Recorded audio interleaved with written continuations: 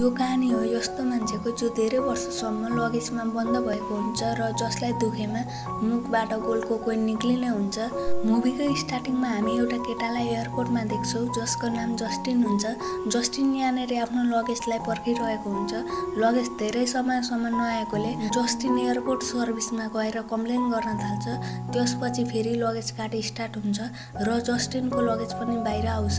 अनि हामी यहाँ देख्छौँ कि जस्टिनको ब्याग भने चेन्ज भएको हुन्छ तर त्यो कुरा भने जस्टिनलाई नै थाहा हुँदैन। एयरपोर्टबाट निक्लेर जस्टिन आफ्नो कारमा बसेर घरतिर जान थाल्छ अनि जस्टिन ड्राइभ गर्दा पनि स्मोक गर्न थाल्छ।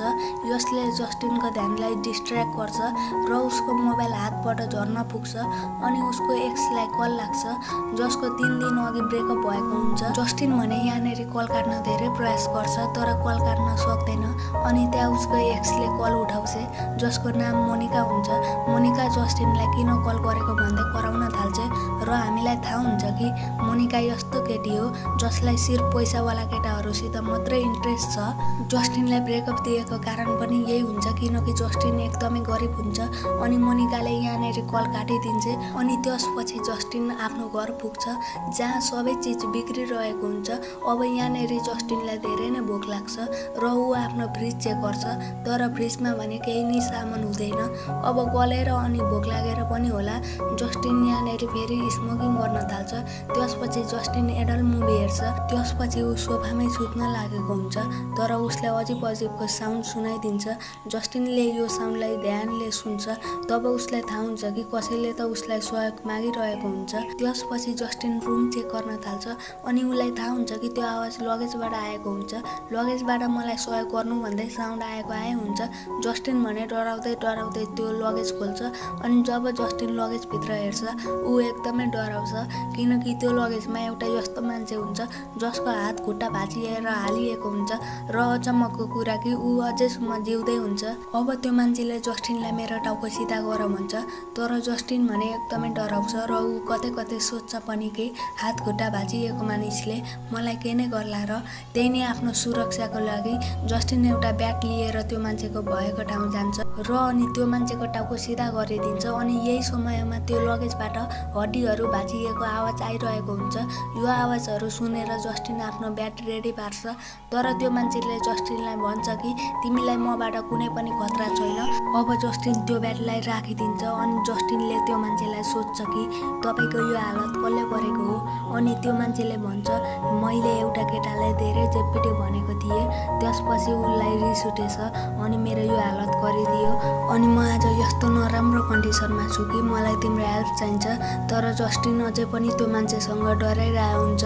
यसैले जस्टिन त्यो मान्छेलाई सहयोग नगर्ने भन्छ र फेरि भन्छ कि त्यसै नै तिम्रो उपचार त हस्पिटलमै हुन्छ। म तिम्रो कुनै पनि हेल्प गर्न सक्दिनँ। अनि त्यो मान्छेले भन्छ कि मलाई जुन मान्छेले यो हालत गरेको हो त्यो मान्छे हस्पिटलमा नै आइपुग्छ र मलाई मारिदिन्छ। त्यसैले प्लिज मेरो उपचार तिमी यहीँ गरिदेऊ। त्यहाँदेखि म यो ठाउँबाट जान्छु। यो सुनेर जस्टिन पनि त्यो मान्छेलाई सहयोग गर्न रेडी हुन्छ र जस्टिन त्यो मान्छेलाई वार्निङ पनि दिन्छ कि यदि मैले तिमीलाई यहाँबाट निकालेँ भने तिम्रो हालत झन् बिग्रिन पनि सक्छ। तर पनि त्यो मान्छेले जस्टिनलाई यहाँबाट निकाल भन्छ त्यसपछि जस्टिन यो मान्छेलाई लगेजबाट निकाल्न थाल्छ। तर यो मान्छेलाई भने एकदमै दुख्छ र धेरै दुखाइ भएकोले यो मान्छेको मुखबाट कोइन निक्लिन्छ। त्यसपछि जस्टिन त्यो मान्छेलाई यो कोइनको बारेमा सोध्छ। त्यसपछि त्यो मान्छेले जस्टिनलाई भन्छ कि हाम्रो पुरै फ्यामिलीमा शराब छ हामीलाई जति दुख्छ त्यति मुखबाट कोइन निक्लिन्छ। अनि फेरि भन्छ कि यो कोइन नर्मल कोइन होइन यो गोल्डको कोइन हो। यदि तिमीले मलाई यो बक्सबाट निकाल्यौ भने म तिमीलाई धेरै कोइन दिन्छु। यो लगेजबाट निकाल्दा मलाई धेरै दुख्छ र धेरै गोल्डको कोइन आउँछ र त्यो सबै तिमी नै राख अनि यो मान्छेले जस्टिनलाई भन्छ कि अहिले मलाई एकदमै गलेको महसुस भएको छ र एकदमै दुखी पनि रहेछ। त्यसैले तिमी मलाई यो लगेजबाट भोलि निकाल्ने काम गर तर जस्टिनलाई भने यो सबै कुरा ढाँटिरहेको जस्तै लाग्छ। र जस्टिनलाई त्यो कोइन गोल्डको नभएर नर्मल कोइन जस्तै लाग्छ। त्यसैले अर्को दिन जस्टिन एउटा गोल्ड सपमा जान्छ र गोल्ड रियल हो कि फेक हो भनेर चेक गर्छ। त्यसपछि सोपकिपर जस्टिनलाई भन्छ कि यो रियल गोल्ड हो यदि तिमीले यो गोल्ड मलाई बेच्यौ भने म तिमीलाई राम्रो मूल्यमा डलर दिन्छु। ओके यदि तपाईँहरूलाई यो मुभीको पार्ट टू चाहिन्छ भने कमेन्ट सेक्सनमा गएर पार्ट टू लेख्नुहोस् र भिडियोमा हन्ड्रेड लाइक कम्प्लिट गराइदिनुहोस् र च्यानल सब्सक्राइब गरी बेल आइकन पनि दबाइदिनुहोस्। Thanks for watching bye